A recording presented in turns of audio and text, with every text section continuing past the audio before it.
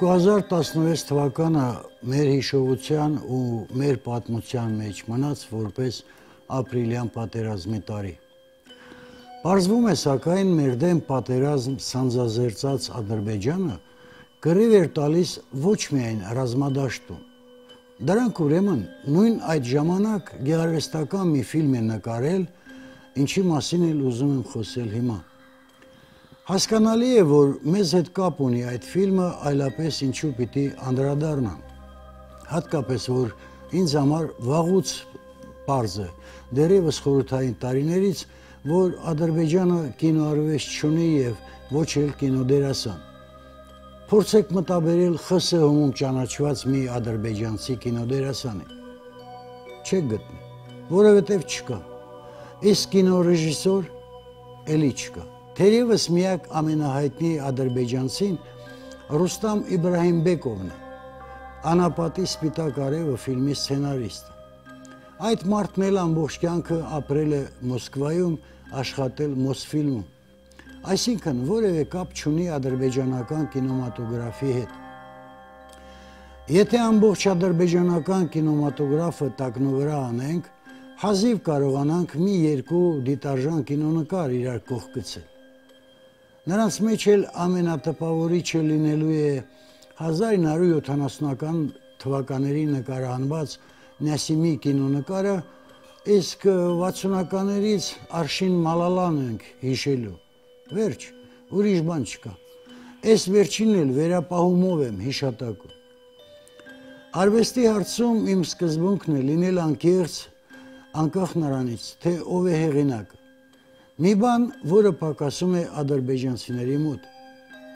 Բայց դառնանք մեր նյութին։ Ուրեմն սրանք մի ֆիլմ են նկարահանել անգլիացիների հետ համատեղ, որտեղ իրենց ներդրումը զուտ գեղարվեստի առումով 0 է։ Կինոնկարում նկարահանվել են արտասահմանցի հայտնի կինոդերասաններ, ռեժիսորը, կոմպոզիտորը, օպերատորը, ֆիլմի մոնտաժողը, բոլորը դրսից են։ Մի խոսքով 20 միլիոն դոլար են տվել ու ֆիլմ պատվիրել։ Սցենարը հասկանալի է, ադրբեջանական է։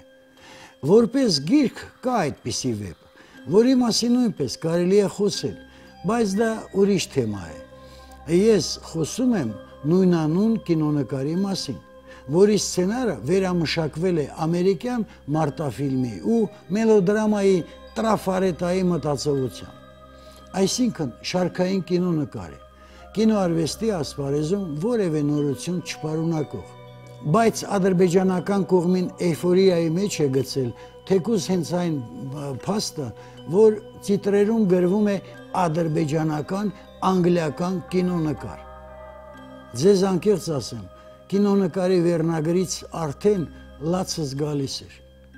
21-րդ դարի կինոնկարի վերնագիր է Ալին եւ Նինոն, այսինքն Լեյլի եւ Մեջլուն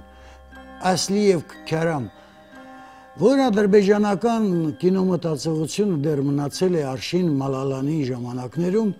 հասկանալի է։ Անհասկանալի է, թե անգլիացիները ինչ են մտածել։ Չէ որ Ռոմեո եւ Ջուլիետ կարող էր վերնագրել 700 տարի առաջ ապրած Շեքսպիրը։ Այսօրվա բարձր տեխնոլոգիաների դարաշրջանում ապրող կինոհանդիսատեսին անգլիական կինոմատոգրաֆը ֆիլմ է հրամցնում վերնագրված Ալին եւ Նինոն։ Բայց գլուխը քարը, ինչի մասին է ֆիլմը։ Անցյալ դարաշրջանի Բաքվի կյանքի մի սիրո պատմության համապատկերում, որտեղ մեծահարուստի որդի Ալին սիրում է վրացուհի Նինոին։ Աղջկա հայրը դեմ է այդ ամուսնությանը, կրոնների տարբերությունը հաշվի առնելով գործը գլուխ բերելու համար խառնվում է Ալիի ընկերը, ով ազգությամբ հայ է, Մելիք անունով, Մելիք Նախարարյան։ Այստեղ խոսքս ընդմիջեմ ու փակագծերում ասեմ, չէր կարող Ալիի ընկերը ադրբեջանցի լինել։ Շատ լավ էլ կարող էր, բայց ադրբեջանցի կինոգործիչների նպատակն այլ բան էր։ Ուրեմն այս հայը քանի որ հայ է, ըստ ադրբեջանցի կինոիստների, ստոր է, տմարդի է։ Փոխանակ ընկերոջ համար բարեխոսելու, փախցնում է իր ընկերոջ նշանացին։ Դե Ալին էլ որպես իգիտ ձի հեծած հետապնդում է Մերսեդեսով փախչող հային, գալիս բռնում շանսատակ է անում։ Ու որպեսի խուսափի դատաստանից ինքը փախչում է Դաղստանի սարերը։ Այս Նինո կոչված վրացուհին էլ տնից է ճողոպրում, գալիս սար ու չոլերում գտնում իր ալիին ու ամուսնանում։ Երբ տապալվում է ցարական իշխանությունը, վերադառնում են Բաքու, քանի որ Բաքվի հայերն էլ փախած են լինում Մոսկվա այլևս Ալիին վտանգ չի սպառնում։ Եվ Ալին որպես մուսաֆատական կռվում է կարմիր բանակի դեմ եւ զոհվում հանուն հայրենիքի։ Այս ախմախ կինոնկարի սյուժեն սա է։ Անհաջող օրինված մի հեքիաթ Չնայած կինոնկարի տիտրերում ասվում է, որ նկարահանվել է իրական փաստերի հիման վրա։ Անկեղծ ասած, իմ պատվից ցածր եմ համարում խոսք խոսելը այս կինոնկարի մասին բայց ստիպված եմ այնուամենայնիվ մի երկու բան ասել հասկանալի պատճառներից դրթված։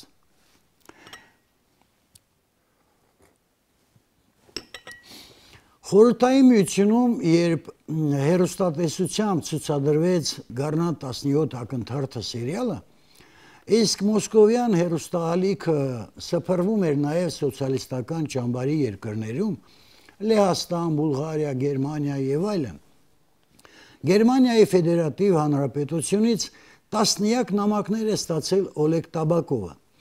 ով մարմնավորել էր Շելենբերգի կերպարը։ Նամակագիրները, որ Շելենբերգի հարազատներն էին,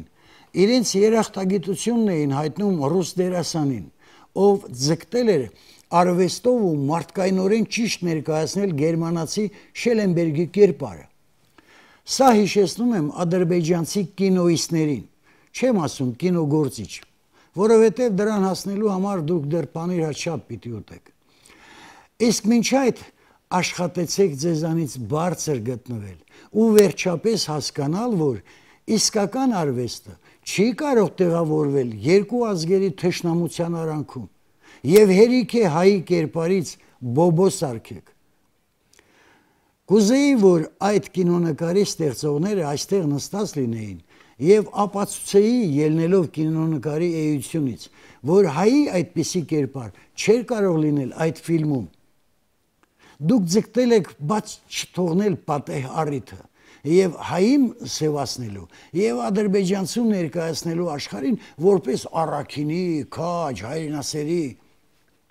արդյունքում ստացվել է կինոախբ, կինոմուսր։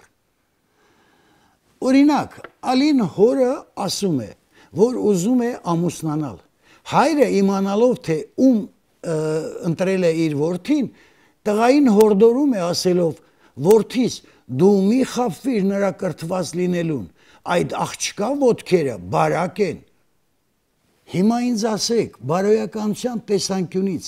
հայի ձեր սարկած կերպարն է ստոր, թե հենց ձեր փառաբանած Ալիի հայրը։ Ինչու պիտի նրա ուշադրությունը գրավեր իր ապագա հարսի ոտքերը եւ կամ որտեղ եւ ինչ հանգամանքներում է նա տեսել այդ ոտքերը։ Եթե կանայք այդ ժամանակ հակնում էին երկարափեշ շրջազգեստ։ Ավելին ասեմ, նա իր որդուն բացատրում է, որ պարտադիր չէ, որ կինը խելք եւ հոգի ունենա, կարևորը ծնդաբերելն է։ Եվ սա է ձեր ներկայացրած ադրբեջանական էլիտայի մտածողությունը։ Թեպետ ֆիլմում նկարահանել եք եվրոպական կենցաղավարություն, կահկարասի եւ այլն։ Ֆիլմում մի դրվագում սրճարանում նստել են երեքով աղջիկը, Ալին եւ Մելիքը։ Մելիքն էլ ասում է. ահա նստել ենք Կովկասի երեք խոշոր ազգերի ներկայացուցիչներս հայը, վրացուհին եւ մուսուլմանը։ Ուշադրություն դարձրեք, մուսուլմանը։ Սա ես չեմ ասում, դուք եք ասում ձեր կինոնկարի մեջ։ Այսինքն հաստատում եք, որ անցյալ դարաշրջանին Ադրբեջան ու ադրբեջանցի հասկացողություն գոյություն չի ունեցել։ Ձեր փարաբանած հերոսույն Ալիին, որ հայի հետ կրվելիս թեթե վիրավորվել էր եւ նրան սայլի մեջ թաքցրած փախցնում են սարերը, ընկերը մի տոպրակ է տալիս հրաժեշտից առաջ ասելով. տոպրակի մեջ հաշիշ է, համ ցավն է մեղմում, համ միտքն է parzեցնում։ Սա է ձեր հերոսը, ազգի զավակը, իր մարդկային վեհ նկարագրով, ում մտքի պայծառությունը կախված է հաշիշից։ Ինչ անեմ, շարունակեմ վերլուծել։ Ախր քարը քարի վրա չի մնալու ձեր այդ ճակերտավոր գլուխ գործոցից։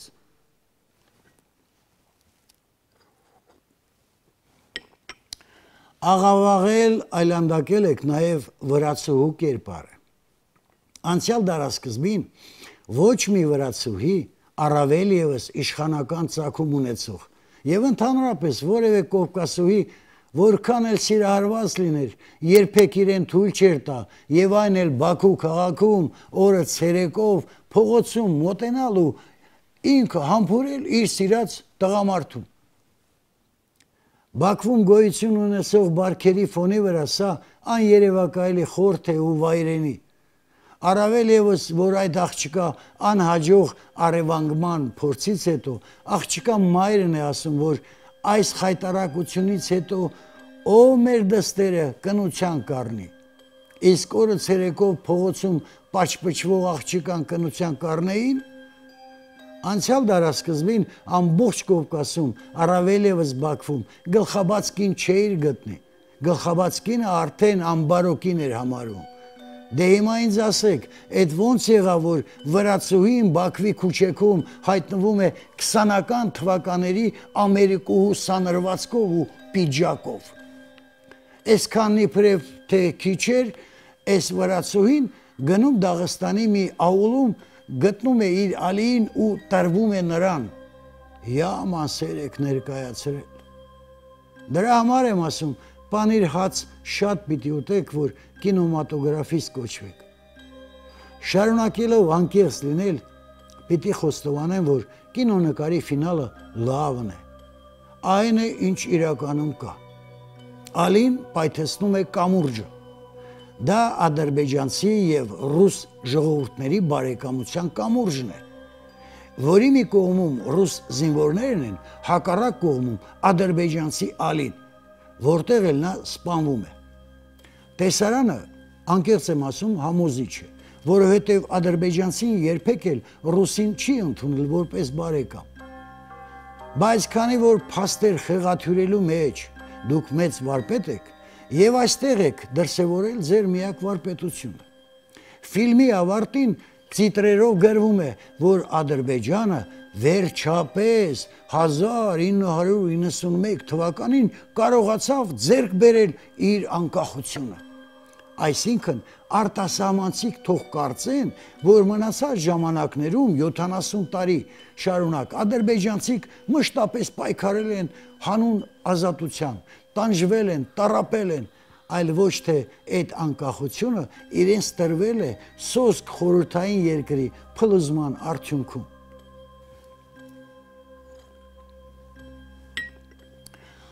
Այս անդրադարձն էլ հաստատ չէի անելու, եթե մեր հանդեպ չլիներ տենդենցիոզ մոտեցում։ Ասելու բան շատ ունեմ կապված այդ ֆիլմ կոչվածի հետ, բայց կարծում եմ այսքանն էլ հերիք է ադրբեջանցի այդ կինոիստներին հասկացնելու համար, որ իրենց նկարահանածը աղբ է ընդամենը։ Ուզում էին անգլիացիների թևի տակ մտած հայտնվել միջազգային կինոասպարեզում, բայց չստացվեց։ Դուք Ադրբեջան ֆիլմի աշխատողներ։ Մի վհատվեք։ Իսկ ես ձեզ մի լավ բան ասեմ։ Հիմա շատ մոդայիկ է։ Նկարահանում են, ասենք թե գլադիատոր։ Հետո գլադիատոր 1, գլադիատոր 2։ Դուք էլ նկարահանեք Արշին Մալալան 1, Արշին Մալալան 2։ Քանի որ միևնույն է, ձեր կինոմտածողությունը այսքան տարիների ընթացքում դրանից վերև չի բարձրացել։